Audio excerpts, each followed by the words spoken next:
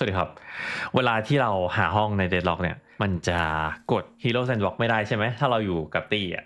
วันนี้ผมก็เลยจะมาสอนวิธีการเข้าห้องเทส หรือว่าเข้าห้องแบบวอร์มหาห้องระหว่างหาห้องเนี้ยเพราะระหว่างหาห้องมันแบบไม่ไม่มีอะไรทำใช่ไหมให้เรากด F7 ขึ้นมาครับ แล้ว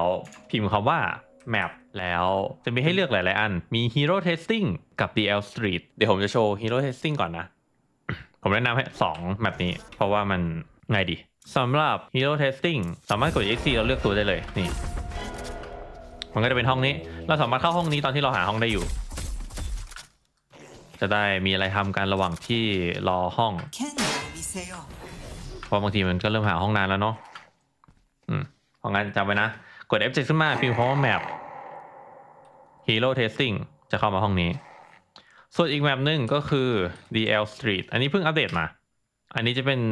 การจำลองห้องธรรมดาเลย นี่เริ่มมาก็กด select hero แล้วก็เลือกตัวที่เราอยากเล่นเลย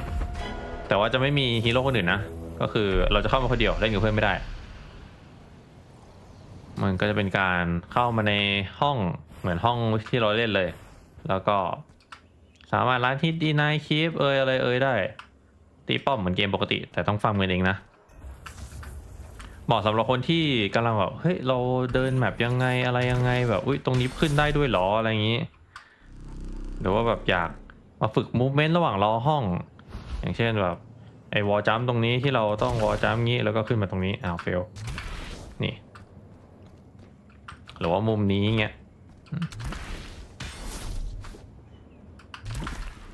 นี่ อะไรแบบนี้ ก็วันนี้คลิปสั้นๆครับสำหรับคนที่ หาอะไรทำระหว่างรอห้องเดดล็อก ก็เข้ามาในห้องเทสได้ โอเคครับ